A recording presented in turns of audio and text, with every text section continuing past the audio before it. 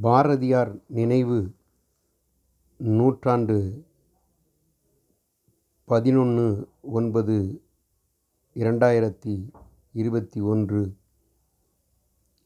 அவருடைய நூற்றாண்டு நினைவாக ஒவ்வொரு தமிழன் மட்டுமல்ல உலகில் உள்ள அத்துணை இளைஞர்கள் முதல் முதியவர்கள் வரை மிக அற்புதமாக அவருடைய வார்த்தைகள் அல்ல அது வாழ்க்கையில் வாழ்ந்து காட்டிய சுதந்திர மூச்சை உள்வாங்கிய நம் ஒவ்வொருவரின் இதயத்தில் பதிவு செய்ய வேண்டிய ஒன்று.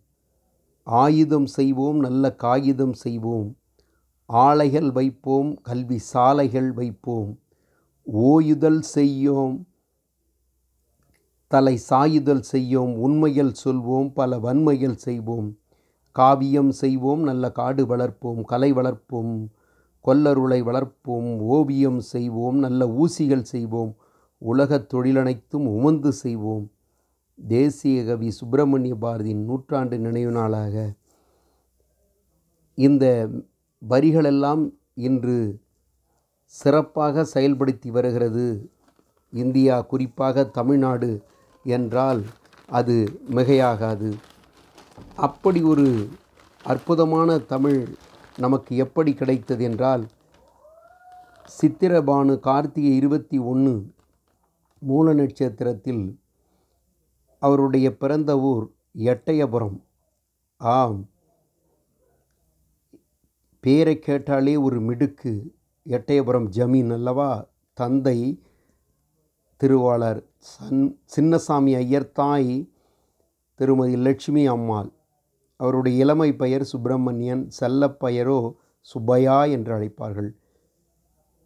எண்பத்தி ஏழிலே தாய் மரணம். அப்பொழுது சுப்பையாவுக்கு ஏறக்குறைய ஐந்து வயது இருக்கலாம். எண்பத்தி ஒன்பதில் தந்தை மரணம்.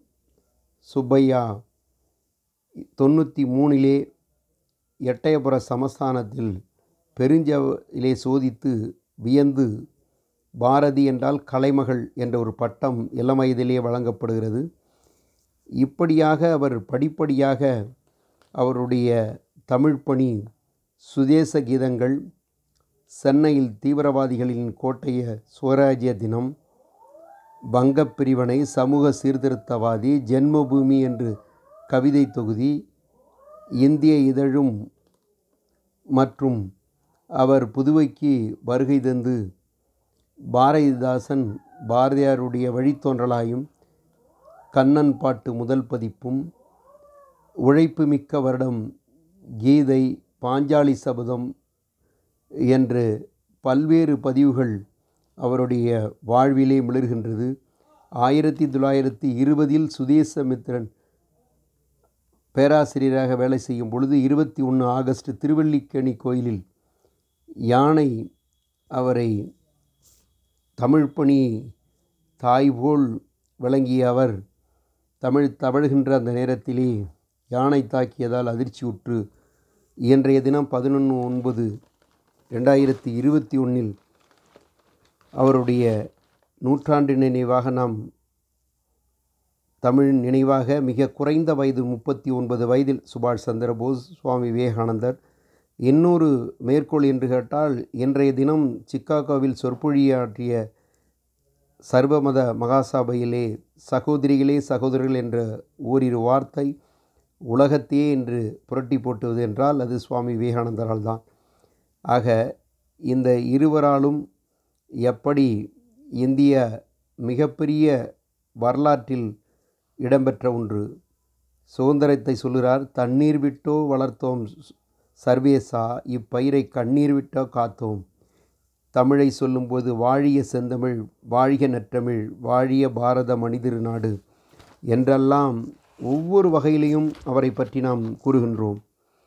அச்சமில்லை பற்றி ஏனென்றால் அச்சமில்லை அச்சமில்லை அச்சம் என்பது இல்லையே. இச்சகத்தர் எல்லோரெல்லாம் எதிர்த்து நின்ற போதிலும் அச்சமில்லை அச்சமில்லை அச்சம் என்பது இல்லையே. துச்சமாக எண்ணி நம்மை தூறு செய்த போதிலும் அச்சமில்லை அச்சமில்லை அச்சம் என்பது இல்லையே. பிச்சை வாங்கி உண்ணும் வாழ்க்கை பெற்றுவிட்ட போதிலும் அச்சமில்லை அச்சமில்லை அச்சமென்பது இல்லையே. அவர் பாருங்கள் அவர் ஒரு முறை மிருகாட்சி சாலைக்கு செல்லும் பொழுது அங்கே சிந்தத்தை சிங்கத்தை வரிடி கொடுக்கின்றார். அப்பொழுது சொல்கின்றார் அவருடைய துணைவியார் கடவுளே காப்பாற்று என் கணவரை தமிழே தாயே என்று சொல்கிறார் அப்பொழுது சிங்கத்தை பார்த்து சொல்லும்பொழுது நீ காட்டுக்கு ராஜா நானோ தமிழ் பாட்டுக்கு ராஜா என்று சொல்கிறார்.